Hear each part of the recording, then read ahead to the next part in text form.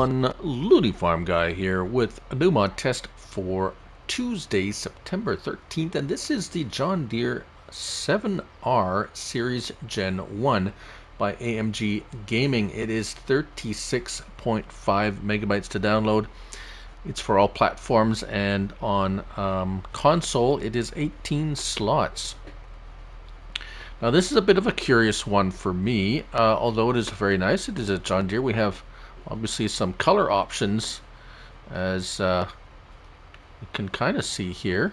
So um, the the 36 slots uh, or the 36 megabytes kinds of kind of concerns me a little bit. However, we will take a look at this uh, first in the store under large tractors. Uh, we do have a 7R series here with 388 horsepower as a base game, so it is it is a little curious.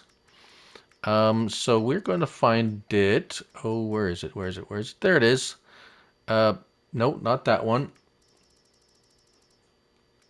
There it is. 7R Series Gen 1, the John Deere 7R Series Gen 1 mod. Up to 352 horsepower. It has a couple of uh, transmissions that, well, sound different, but mm, are the same. 31 miles per hour at uh, 11.2 tons. Right, so uh, $238,000. Uh, not too bad. Uh, here we go. So we start out with the base 269 horsepower and the auto power transmission uh, which is basically a CVT transmission, which we'll show you in a moment. Uh, wheel brands, we start with Trelleborg, Michelin, Continental, Midas, BKT, Vredestein, Nokian, Trelleborg. Nokian has the um, European warning signs. Uh, and back to Trelleborg, uh, which in Trelleborg, or Trelleborg, yes, Trelleborg, resistance is futile. Um, we have uh, several choices solid rims, uh, weights, and it just has the different tire sizes. The, the uh, yeah, so as you can run through, you see, notice there's a notable absence of twins here or narrows. Um, the uh, the the the description under store info realistic tire sizings. So I'm guessing this is uh, in reflection of what these tractors would typically have. Uh, Michelin, that looks like a narrow tire actually. Uh, that definitely looks like a narrow tire. And then we're into normal sizes like so. We're actually going to, you know what, we're going to, I'm going to buy this one um, because I want to test out those narrows to see if they uh, if we have crop destruction on that or not. That's probably a good information there. Continental also just um, pretty much ah, the same choices. Midas. Yeah, that it's just all kind of there. If you want the warning signs, there is that uh, particular tire size. BKT, again, just, yeah, nothing inspiring or different or interesting, really.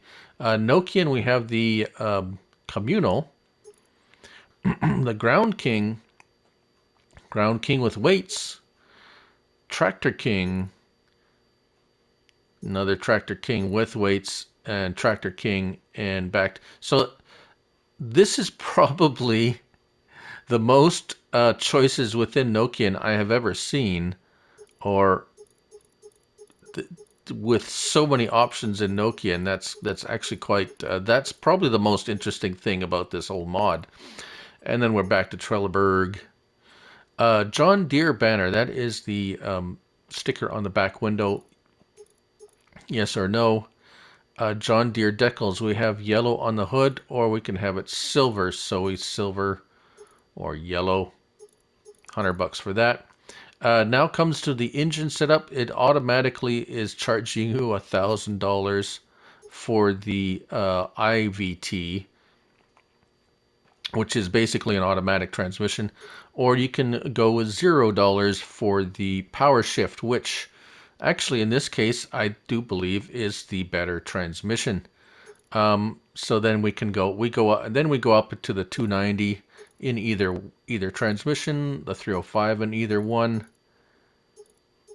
and the 3 332 either or, and then finally the 352 either or, which is going to cost you 42 or 41 or 42 thousand dollars extra.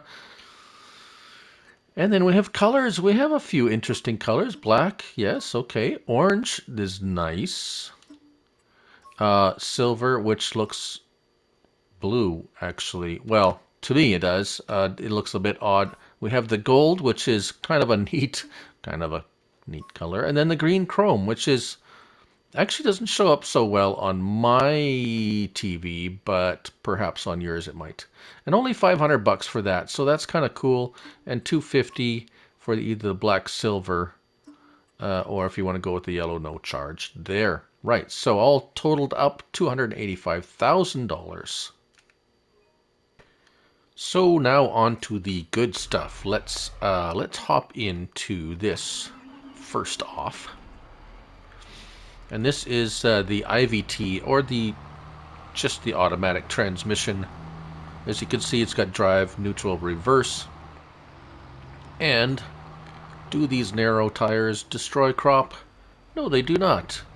Very good. So then you know that then for sure. Uh, as for options, opening windows and such, it does not have that. I am uh, that is actually a bonus in my book. Uh, because I don't use those in it, I find for myself personally, it confuses uh, things when you're got implements and trying to open things and stuff with implements and your back windows opening and doors are opening and mirrors are adjusting and the like. Interior looks pretty nice. A nice view out the back window if uh, that is what you like to do. Yeah, right. Um, beacons, lights, and beacons. Pretty nice, all standard, very good. I really personally as well don't care about a hundred million different beacon options. It either has it or they don't. They don't. If you don't like them, just don't put them on. That's the way I feel about it. Um, right. So performance. right. Uh, so this is um, we have nearly identical um, I, I, say nearly because I think the tires are slightly different choice on this one and that one. However, it is the Trelleborg with the weights, I do believe. Yeah, Trelleborg with weights. So the tire options are the same. The engine choice is the same. Everything is the same on these two models except one thing. And that is the transmission. This one, as you can see, is the uh, IVT or the automatic transmission and we will set down the plow, hire a worker, and watch him get up to speed fairly rapidly. Now this, um, um, the tractor is 100 and, or sorry, 352 horsepower, I believe. We spec'd it out to, uh, yes, 352. And this, um, cultivator is rated at 375. So as you can see, and 9 miles per hour. So it is pulling it at speed and um, seems to be a, doing a pretty okay job of it, teetering between 8 and 9 miles per hour. And uh, this, as you can see, is the uh, manual transmission, and we also will set off the worker. And uh, it does actually of equally uh, now it's struggling a little bit to get up to the 9 miles per hour. I wonder if there's a little bit of a a slope here. Uh, perhaps. However uh, there it is. There's 9 miles per hour. Uh, it does an equally good job. And as a matter of fact um,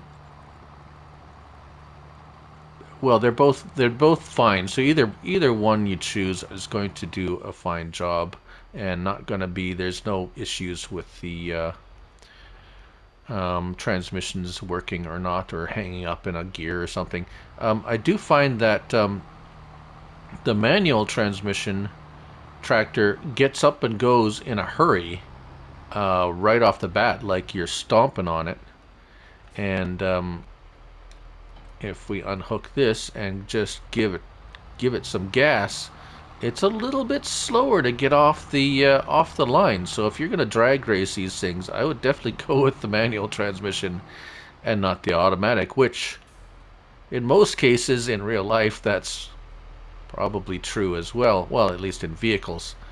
Um, however um, yeah it's a little surprising that the manual transmission is slightly outperforming the automatic, which is somewhat unusual um, on Farm Sim 22 in my experience. However, either one will do just fine. Uh, missing things are, um, well, it is a large tractor, but I, hmm, it's a little strange that we don't have a dual, at least a dual rear wheel, wheel option. However, it's not a game breaker or a mod breaker. It does have the three-point link on the front, standard, and um, wheel weights. So, yeah, all in all, some nice color options. Uh, nothing, not too much to clutter up the store. Um, and there it is. That's the John Deere 7R Series Gen 1 for Tuesday, September 13th uh, by AMG Gaming. 36.5 megabytes to download, 18 slots on console. I'm Looney Farm Guy, and remember, it's only a game. So, till next time, bye for now.